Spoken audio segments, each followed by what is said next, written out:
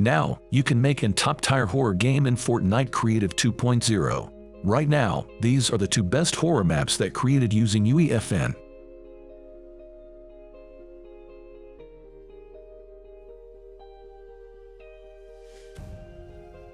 And these are the some of the new horror VFX scenes that you can do in UEFN.